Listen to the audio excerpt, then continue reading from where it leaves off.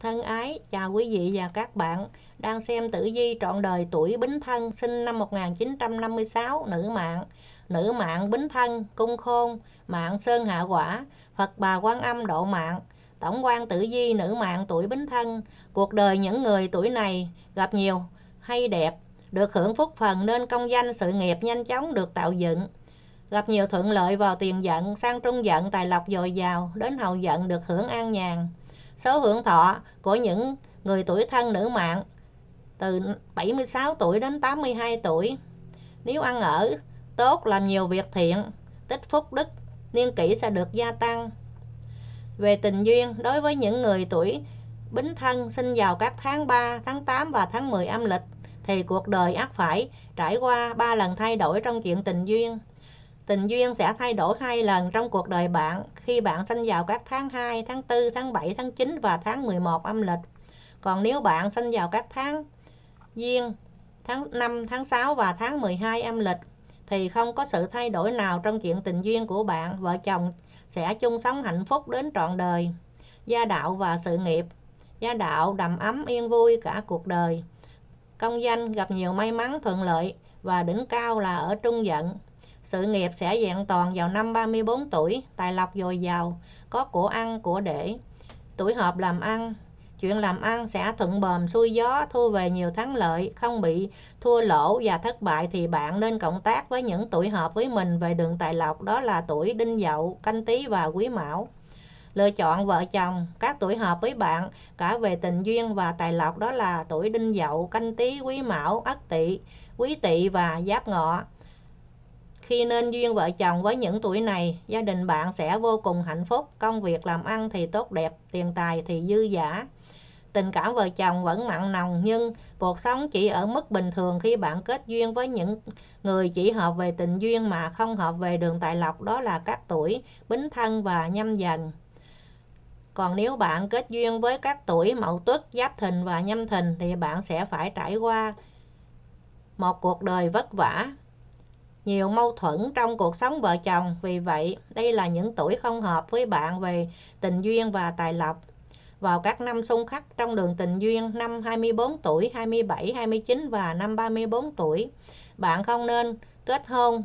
Nếu không, bạn sẽ phải gặp nhiều trắc trở trong cuộc sống và chuyện hôn nhân.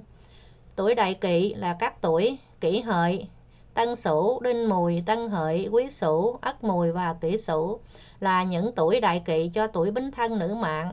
Khi kết hợp với những tuổi này, công việc làm ăn của bạn sẽ gặp thua lỗ thất bại, chuyện tình duyên thì gian dở. Nếu vẫn muốn nên duyên vợ chồng với những tuổi trên thì bạn không nên tổ chức linh đình mà chỉ nên làm mâm cơm cúng gia tộc tổ tiên để được chứng giám. Sẽ có cơ may chung sống trọn đời, còn trong chuyện làm ăn hay gia đạo thì các bạn nên thành tâm cúng sao giải hạn theo từng năm tuổi mỗi năm hạn sẽ được giải bớt. Năm khó khăn nhất vào các năm 21, 23, 27 và năm 33 tuổi, bạn sẽ phải trải qua nhiều khó khăn vất vả trong cuộc đời mình. Những ý tưởng đột phá nảy sinh thì bạn cũng không nên thực hiện vào những năm này. Vừa không thu được kết quả lại phí hoài công sức, tiền của mà bạn đã bỏ ra. Bạn cũng cần chú ý giữ gìn sức khỏe và cẩn trọng trong mọi công việc. Ngày giờ xuất hành hợp nhất Ngày lẻ, tháng lẻ và giờ lẻ là thời điểm hoàng đạo cho những người tuổi bính thân nữ mạng xuất hành.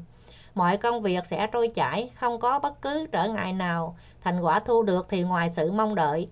Diễn tiến từng năm, tử vi trọn đời từ năm 20 tuổi đến năm 25 tuổi. Vào các năm này, nhiều chuyện không vui xảy đến với bạn.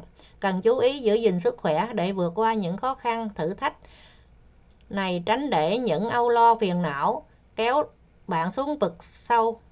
Từ năm 26 đến năm 30 tuổi, nhiều sự hay đẹp sẽ đến với bạn vào những năm này để bù đắp cho những khó khăn mà bạn đã phải trải qua ở khoảng thời gian trước đó.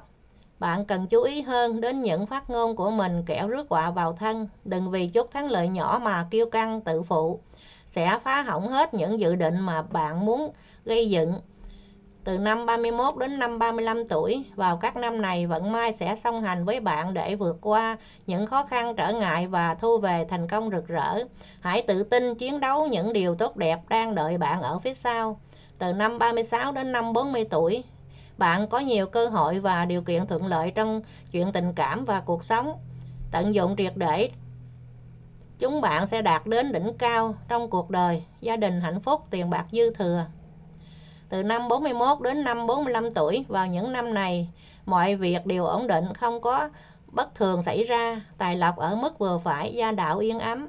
Từ năm 46 đến năm 50 tuổi, mọi thứ dường như lắng xuống vào thời gian này, chỉ có sự thay đổi ít nhiều trong gia đạo. Sức khỏe của bạn vào những năm này không được tốt nên bạn hạn chế xuất hành đi xa.